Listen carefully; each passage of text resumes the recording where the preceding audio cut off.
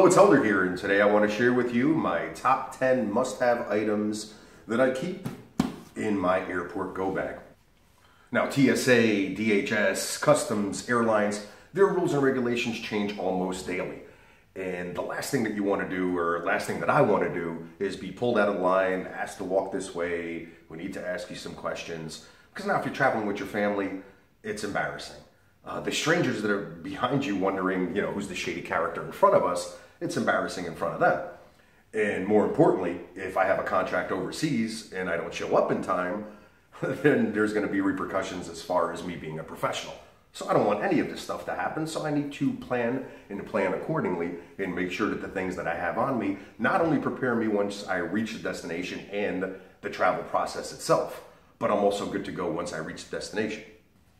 So I want to go ahead and share with you the top 10 items that I keep in my airport go bag.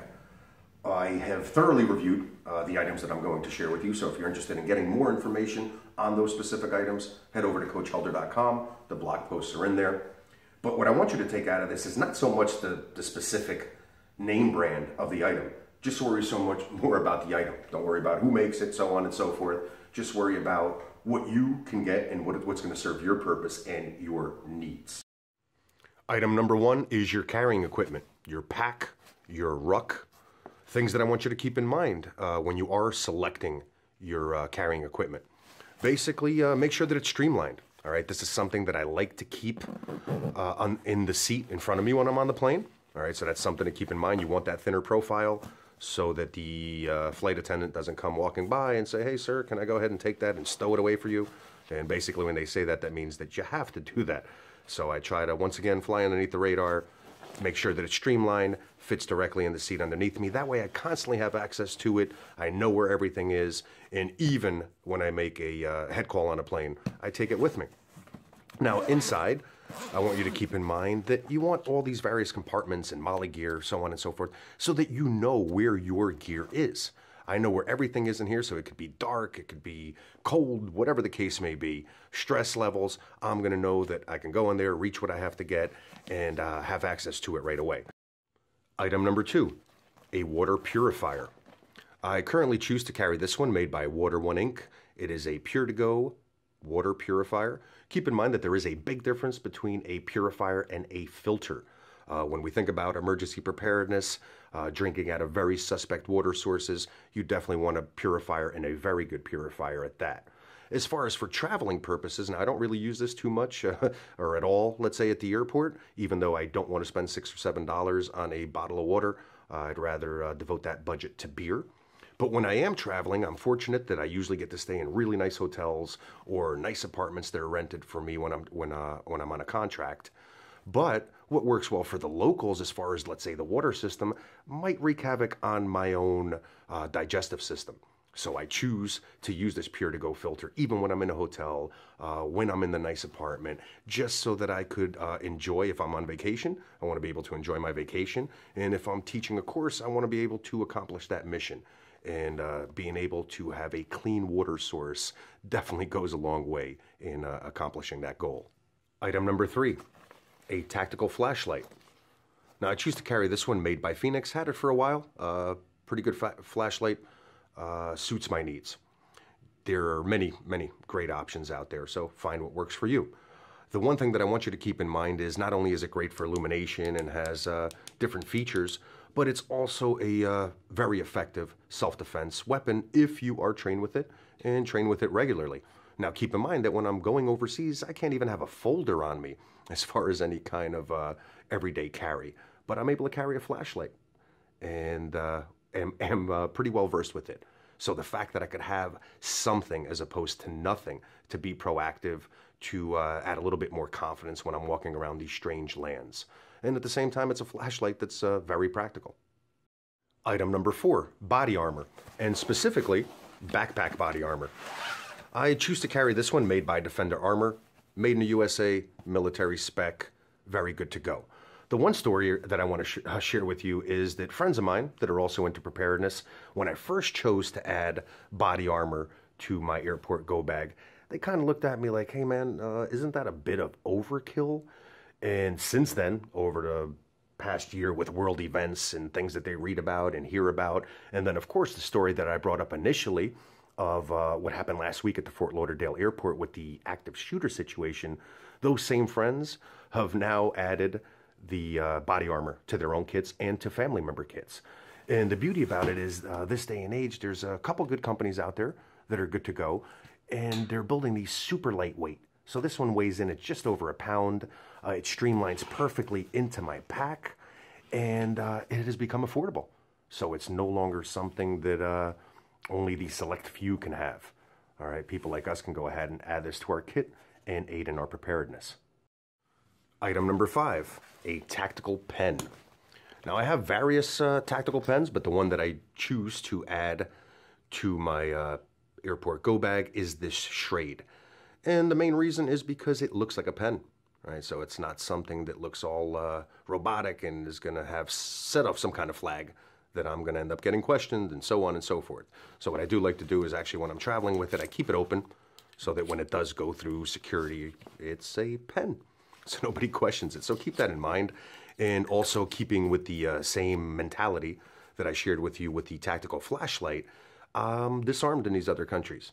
And I want to make sure that I have something, something that's viable, something that I train with, something to add to my confidence, and something to give me a chance if some kind of a self defense situation were to arise.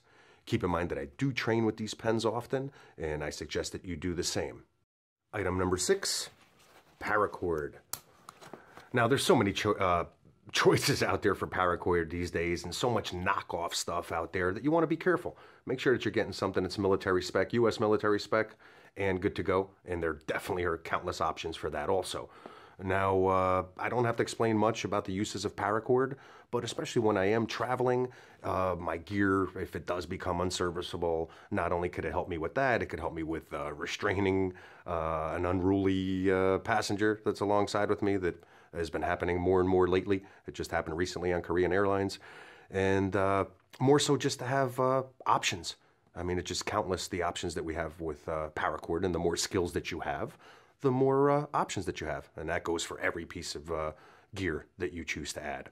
Now, we usually have extra paracord on me. You could tell I have some bracelets hanging on the side. I usually have a bracelet on my purse and so on and so forth.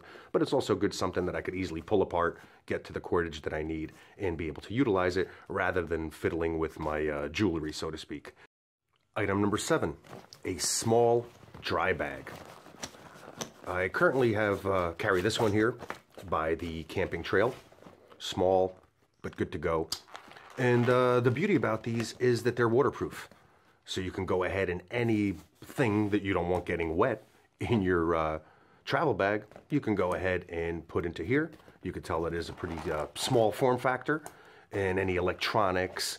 I also usually keep a uh, change of undergarments in here. Uh, sometimes when I'm traveling, it's a 24, 26 hour process. So if I do get to uh, certain airports, I can take a shower at, so on and so forth. So I could not only grab my uh, clean gear that I have in here, but I could also put the uh, dirty gear in here. And it's excellent at trapping smells. So whether it's food, whether it's uh, your clothes, it's not a bad option either to keep it separated from the rest of your gear and at the same time keep you from uh, stinking up the flight and having the person next to you uh, pretty much hate you the whole way. Item number eight, a spork. I have a few different sporks, and uh, this one is made by a company called Light My Fire, and it's titanium, hypoallergenic, all the good stuff. Now, I'm not a germaphobe or anything like that, but if you witnessed half of the things that I've seen occur in an airport, remember I spent just countless hours on layovers and so on and so forth, and if you see just people with their filthy hands reaching in that plastic silverware to get what they need, and that's just the people, let alone the employees, you know, things that I've seen them do. So, uh, you know, just think about it. Stresses of traveling, so on and so forth. Our immune system's already taxed, so we don't need any extra germs adding to that. And now, if you couple in the airport and airplanes, which are one of the most germ infested areas uh, around, you can see why I chose to carry my own titanium spork and be able to wipe it down when I need to wipe it down. And uh, more importantly, sometimes with our gear, it gives me peace of mind. Item number nine electrical tape.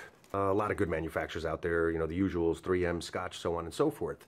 Now, I used to carry duct tape, which was always our above all fix all in the Marine Corps.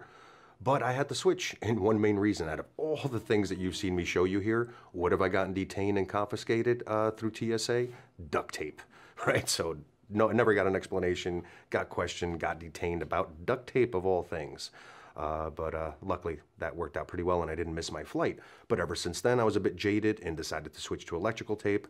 And since then, I've gotten uh, no questions and have not been detained. Uh, so it could have just been a one time thing or whatever, but I'm staying away from duct tape, and I'm sure you understand why. Now, as far as our application, very similar with what we can do with duct tape, which is repairing and constraints and a million other things that we can't even think about. Item number 10 a ferro rod. I like these necklace types. I have a couple different manufacturers. This one's made by Uberleben. Very good to go, works well, does what it's supposed to do. Gives you that spark so that you could go ahead and uh, get your tinder going and able to start a fire. Now, while we're traveling, we're not allowed to have matches or lighters on us.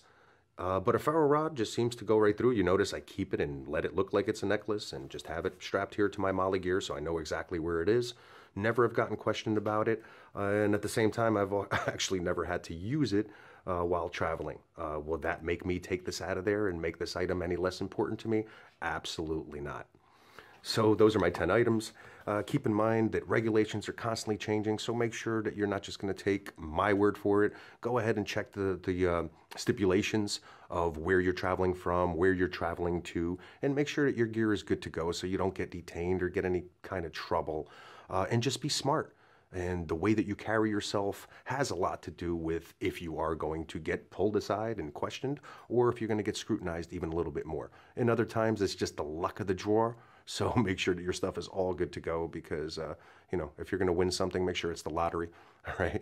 Not the uh, chance of uh, getting detained by security personnel. All right. Once again, this is Helder. I hope this uh, helped you out and you uh, found this helpful.